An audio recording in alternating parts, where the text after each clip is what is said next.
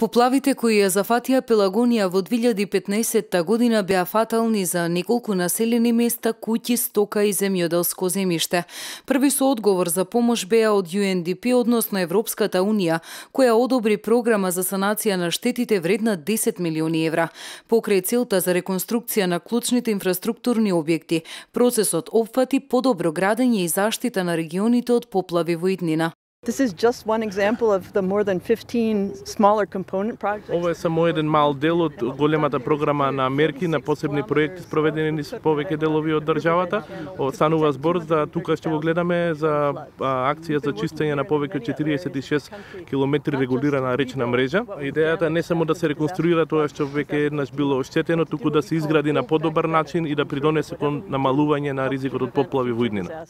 Програмата беше наменета не само да им помогне на заедниците од штетите од поплавите, туку и заштита на економијата од негативните ефекти на поплавите и модерен пристап при реконструкцијата. Секогаш кога ќе заврнат поголеми количина на дошт, се поплавуваат тука земјоделски површини, а во последниот случај како кога имаше поголеми порани дождови се поклави неколку куќи, така да голем благодарност до UNDP што што одвоија средства, што изчистија 6,5 км од овој канал, така да тој проблем сега е решен. UNDP со години наназад работи на превенција од поплави како врвен приоритет за земјава, проучувајќи ги состојбите на речните корита. Со оваа помош UNDP и Европската Унија и чистено е коритото во должина од 30 км кај нас.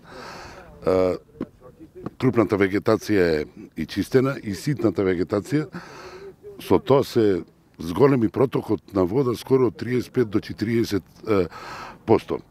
Имавме и 12 прелази кои беа струшени на, на коритото на река Црна, ги затворивме тие прелази, па и времето после еден месец не тестираше, имаше големи породни дождови, каде што коритото беше а, полно и издржаја тие Превози и сега се надевам дека нема да имаме некои поголеми последици. Направивме многу би рекол 2016 беше една голема превентива за она што ни се случи и санација.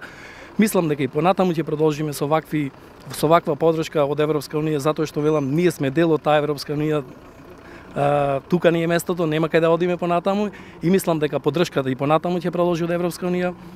Би сакал имплементатор секојаш да помогнува тука UNDP и имаме прекрасна соработка и би рекол 2017 да не биде она што се случи во 2015 година. Со оваа програма во општините Могила и Новаци санирани се поголем број на улици и патишта во повеќе населени места.